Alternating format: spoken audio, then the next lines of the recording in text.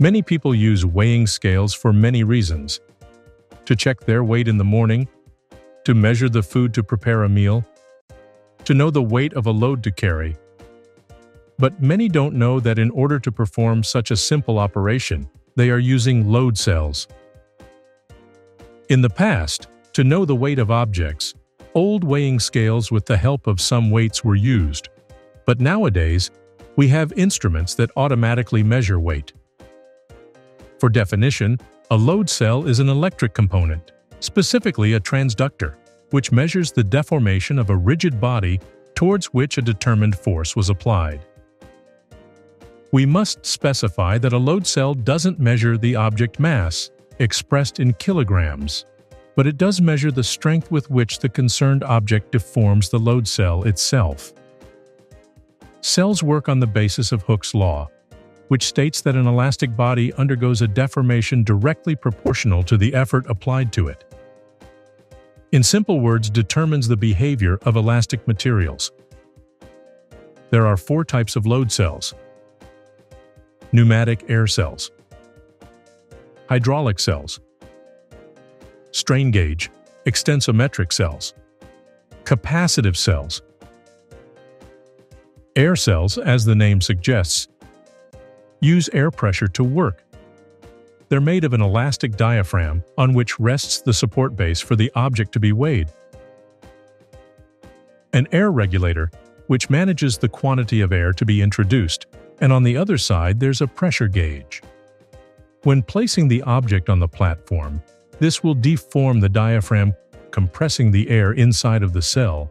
The pressure gauge will measure the change in pressure and through an electric impulse sent to a control panel, it will convert it into kilograms.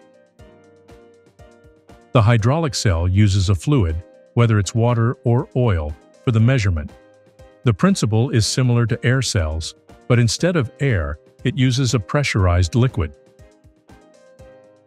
Inside the cell there's an elastic diaphragm and a piston, inside of which there are a liquid, a support base, and a tubular spring pressure gauge. When the object is placed on it, the piston compresses the liquid inside it, which in turn deforms the diaphragm with the exerted pressure. Pressure is detected by the pressure gauge that can send an electric signal with the help of a pressure sensor. The next cells are the strain gauges, the most frequently used type in industrial context. This load cell simply is a transductor which changes its electrical resistance when it undergoes a deformation. Electrical resistance is proportional to the deformation exerted on the cell, resulting in an accurate measurement.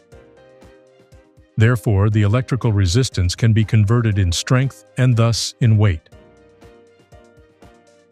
The strain gauge load cell is made of four extensometers, the extensometer is a measuring instrument which detects small deformations of a body subjected to mechanical stress. Extensometers inside the cell are in a Wheatstone bridge configuration. This setup provides four extensometers connected between them in a rhombus shape, and it's capable of obtaining very accurate measurements with values between 10 and 100,000 ohms. Extensometers are glued onto a structure which gets deformed when a weight is applied. The structure features cavities to increase the deformation. The last type of cell is the capacitive cell. Capacitive cells work on the capacity of a system to store an electric charge. It's made of two flat parallel plates towards which an electric current is applied, which gets stored between the two plates. The further apart they are, the bigger the storage capacity is. When a load is placed, the space between the plates decreases, and consequently so does the charge. This change can be measured in volts and transformed in kilograms. We talked about the various types, now let's see some application examples. The first example can be made in a salt production chain. A tank drops salt onto a conveyor belt which is weighed with the help of a load cell positioned under the belt. When the right weight is met, the hopper stops, The belt brings the salt towards the funnel which makes salt drop into the previously positioned sack.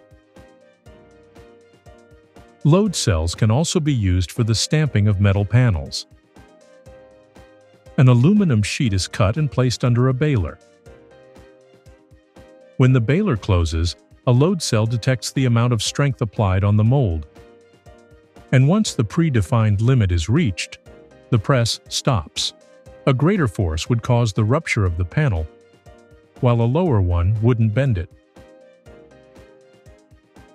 Determining which load cell is the most suitable for a process is crucial in order not to make mistakes that would cause disruption in production. A load cell is mainly chosen for its sensitivity and accuracy. Capacitive cells are the most sensitive, immediately followed by strain gauge cells with a very high degree of accuracy. Air and hydraulic cells are still used today in many processes, but are the least accurate. We've discussed the various types of load cells, their characteristics, and how they are applied in the industrial field. If you have any questions or curiosity about this topic, please write them in the comments. If you find this video useful, let us know by leaving a like and a comment below. You can also share it. And don't forget to subscribe to our channel. We invite you to click on our website, jaescompany.com to know more about our next projects.